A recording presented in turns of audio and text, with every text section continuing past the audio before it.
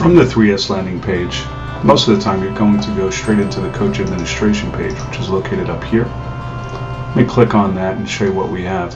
Here's where you're going to put some of your athletes or all of your athletes' uh, individual personal data. Let's um, take a look at somebody that's pre-populated already. You see that you're going to create their first name, last name, and their username. Put a password in, email, information about their uh, physical statistics as well.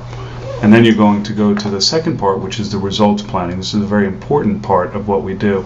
Uh, for this athlete, they're interested in a 500 yard short course freestyle, their current best time, and the target result for the end of the season.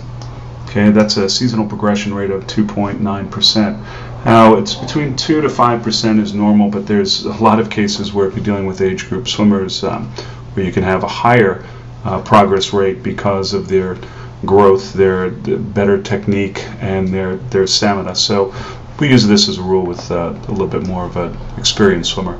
Then the, part, the third part, you're going to do the season planning itself, and that's where you're going to put in the beginning date and the end date of these particular season. Now I could go into you know multiple humps of seasons, but that's uh, beyond the scope of this original screencast. So this is where you just put in the meat and potatoes, the regular information, uh, pertinent information that you need to begin the process.